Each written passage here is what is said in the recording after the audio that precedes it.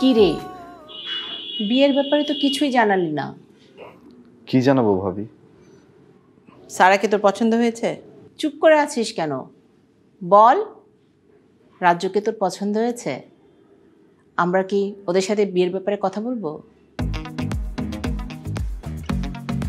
সত্যি বলছিস? জি ভাবি ওকে আমার অনেক পছন্দ হয়েছে। তাহলে ওর ভাই আর ভাবির সঙ্গে কথা বলে বিয়ের ডেট ফাইনাল করে ফেলি কি বলিস? তোমরা যা ভালো মনে করো তাই করো। তাহলে আমি যাই গিয়ে তোর ভাইয়ের সাথে কথা বলি। রে ওমর? খাবার টেবিলে খাবার সাজিয়ে বসে আছি। তোর ভাবি কোথায়? আসছে না কেন? ড্রয়িং রুমে রাজ্যবাইয়ের সাথে কি যেন নিয়ে কথা বলতেছে। তাই নাকি? দারুণ একটা গুড নিউজ আছে সবার জন্য। তাই নাকি? কি গুড নিউজ রাজ্য সারাকে বিয়ে করতে রাজি হয়েছে। সত্যি বলছো? হ্যাঁ সত্যি বলছি। এই মাত্র রাজ্য আমাকে বলল। ইয়েস রাজ্য তোমাকে নিজে ওর মুখে বলেছে? আরে নিজের মুখেই তো বলল। তাহলে আমি একটু যাই। কোথায় যাচ্ছ তুমি? ওকে একটু জড়িয়ে ধরবো। কি বলছো তুমি ওকে জড়িয়ে ধরবে?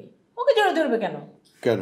নিজের ছোট ভাইকে কি আনন্দে খুশিতে আদর করে জড়িয়ে ধরা যায় না?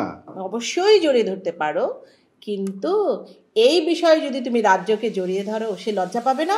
আপনারা তুমি ওর বড় ভাই। হ্যাঁ এটা অবশ্য ঠিকই বলেছ। রাজ্য যেহেতু রাজি হয়েছে আমার মনে হয় পাকা কথা বলা উচিত।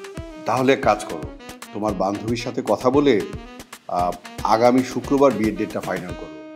প্রথমে আমরা ঘরোয়াভাবে বিয়েটা সেরে নেই পরে বড় করে অনুষ্ঠান করব। কি বলিস? আমি যাই। রাখির সঙ্গে গিয়ে ফোনে কথা বলি। কথা বলো আগে খাবার দিয়ে দাও। হ্যাঁ পরে খেলে কি হতো? পরে খেতে। হ্যাঁ খাব। ওকে দাও ওকে দাও। বাহ খুব সুন্দর জায়গা। তা আজকে হঠাৎ এত সুন্দর জায়গা নিয়ে আসলেন? এটা হচ্ছে আমার প্রিয় জায়গা।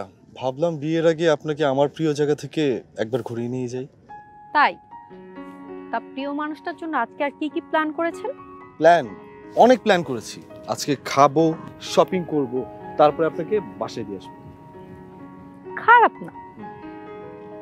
এখন কি দাঁড়িয়ে এখানেই কথা বলব? এত সুন্দর জায়গাটা উপভোগ করব না? অবশ্যই। চলেন যাই আসেন।